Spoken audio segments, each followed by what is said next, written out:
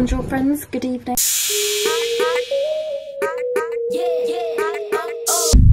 so today I was like why don't I do a like um GCSE tips video for like year 10s and year 11s actually also yes I know um, we're not doing GCSE so I can't really talk as well. Like I did make a video about this like last year. I was like exam season woo! And then um, I was like you know I'm not actually doing GCSE so I can't really talk. But then it's the same again like applies this year because I'm not doing GCSEs but I still know how to survive school and I actually have a lot of tips for that so how to survive school for year 10 and 11 I'm very sorry for this state let's just get let's just let's just get started because I have like a lot of tips. My first tip, probably the most important one, is time management. The only way you can stay on top of your work is if you actually like manage your time. And I was really, really, really, really, really bad at this like throughout last year. I only started getting better at like the last term. Obviously, you need to make sure that you have enough time to do your homework and just do everything else that you want to do as well. And also time to relax. My like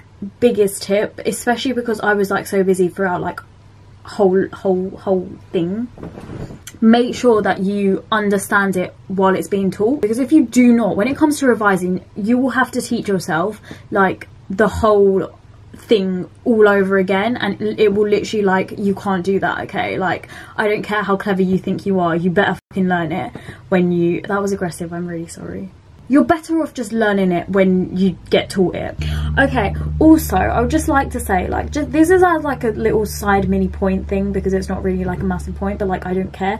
Um it doesn't matter if you don't do well in like an end of unit test. Like i'm not even kidding. Beginning of maths i did my maths a year early and i got nine. At the beginning of maths i was in year nine the whole of year nine actually. I think i was getting so bad like honestly um under 50% in a lot of them. And there was only like one where I got like a full mark. It doesn't really matter. It doesn't matter. Like, don't need to do well in every single your tests. If you haven't had enough time to revise, like don't stress about it. Like just make sure that you understand it make sure you know how to revise like how you learn best because if you don't know this like you are gonna get like nowhere. It doesn't matter how much like how much time you put into working. If you are not actually learning it and if you're not actually like if you don't actually know it then there's no point in doing that much time. The way you revise changes like literally everything. Next thing to know to link to that is to work smarter and not harder. Like it's the same thing. Like if you work for like four hours on one topic and you still don't understand it because the way of like you're revising like that's so useless. Oh my days the next thing practice papers. Cannot stress this enough especially for like especially maths and sciences as well but like maths a hundred percent let me show you all the past papers I did for maths. Like, this is how I got a 9 a year early. To be honest, I don't even know why I've kept these, but... Okay, so not all of these are, like, maths past papers. This whole bucket is not just maths past papers, but, like, everything... So, not this stuff. All of this here is past papers. Like, cannot stress enough how much you need to do past papers for, like maths and sciences especially as I said but even just for any subject most subjects past papers are like a must. Another thing if you are a very busy person like revising every single week is not going to be realistic. Like if you say to yourself um like I said this to myself okay like it's normal. But if you say to yourself like for year 11 I'm gonna do like a couple hours a week revising did not happen at all. I did no revision until mocks week. And even after mocks week, I was like to myself, I'm going to do revision every single week, like up until GCSEs. Did not happen.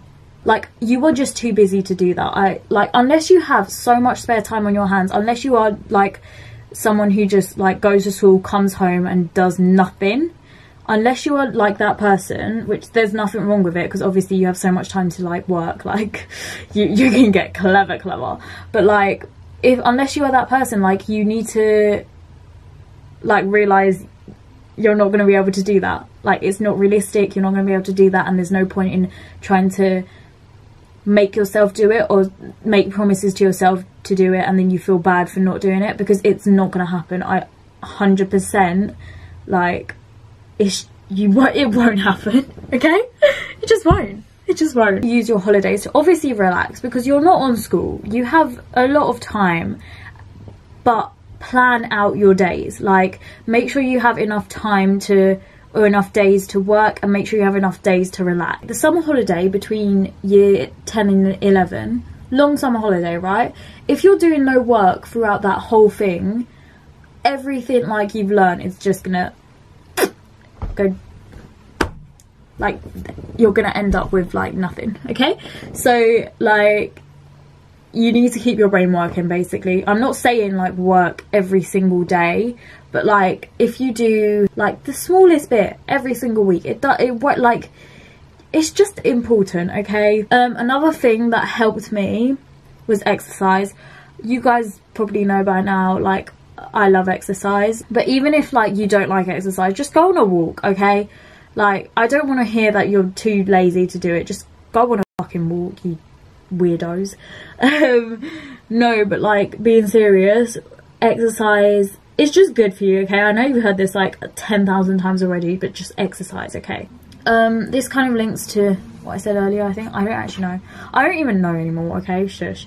Um, but make a revision timetable and stick to it. Like, because it organises your time. And as I said, if you're a busy person, you need to organise your time. Like, that is one of the most important things you need to do because otherwise you won't be able to get your work done. Make sure you've got enough time to revise each, each subject and obviously some subjects will probably need more time than others.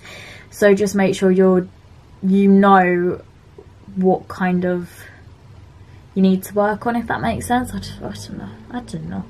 Um enough. Go out with your friends okay? Just make time to go out with them. Like you can still go out with them and still have a productive day. Like it doesn't matter. You can even go to the library with them and study if you're worried about not getting work done.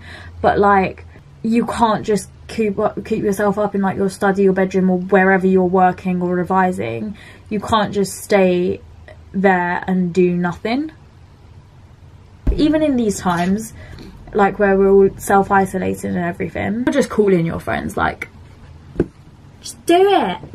Um art students or like students i don't really know what other subjects are like this but like if you have a lot of um coursework or whatever that you need to do stay on top of it.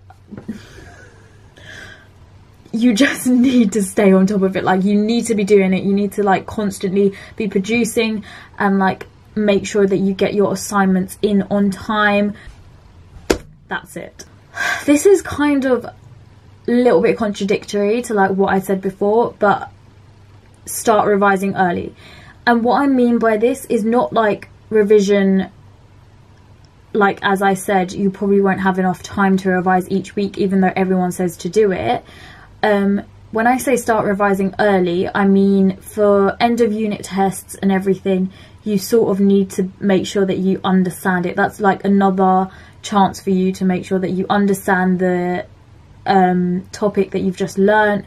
Um, and it's just it's just important okay like it's so important um, use the holidays, as I said, like they are so important. But like if you get your um, end of unit tests back and like mocks back and everything, like make sure you know where you went wrong. Make sure like you know the um, areas that you need to improve on.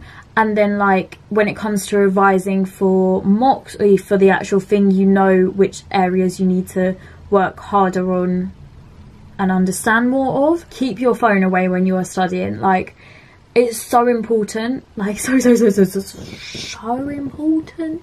Because you will get like so distracted. Like this was me. I used to think like oh i'm not gonna get distracted. It'll be fine. I can just sit like at my desk with my phone like literally right next to me and obviously like your phone screen lights up whenever you get a notification even though my phone is on silent it lights up so i was always checking it when i was working and that was not good so what i do now i take some headphones connect them to my phone, Bluetooth obviously.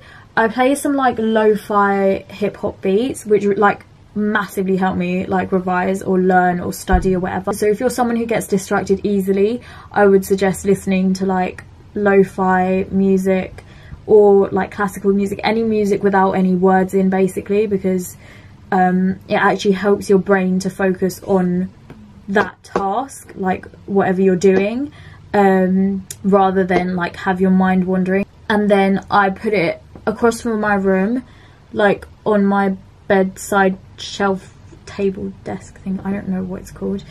Um, and then the last thing, I don't even know why I put this thing, but it kind of does make sense for people like who travel a lot, who, um, I don't know, have a longer journey to school, or if you travel a lot like on the weekends or whatever, there's a lot of travelling time. Like for me, when I go to sports fixtures, there's like a lot of time spent just traveling like because of school sports fixtures there's a lot of time where we will be taken out of school in like the afternoon or something so I'll be missing my afternoon lessons. And obviously I'm gonna have to do the catch up from those lessons on top of the homework that I may have got from other lessons. So what I do is I try and take my homework with me and I'll do it in like the travel time. Um because we have like so like we've got we travel for ages. Like we, we went somewhere like that was like three hours away once. Okay not three hours it was like two hours. Use your time wisely because i know i used to be like this. I was like oh i'm traveling. I can't really do work. And then like it'd come I, i'd like come back from traveling and i'd be like okay it's already 9 p.m like what work can i do now?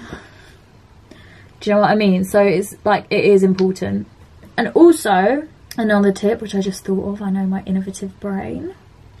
Um, also you need to make sure that you know which time that you work best at so for me it's usually after dinner and I can go on until like 12 p.m. and that's only when 12 p.m. 12 a.m. and that's when I'll start feeling like tired um, but I know for a lot of people like um, they work best in the mornings or whatever. If you know what time you work best, make sure you work in that time. Um, anyway guys, so thanks so much for watching. Please make sure to like, comment and subscribe. Um, genuinely am concerned for myself like I, I genuinely am concerned for myself I don't know what I'm doing um anyway Thanks for watching guys and I shall see you guys in the next video. Bye my little friends.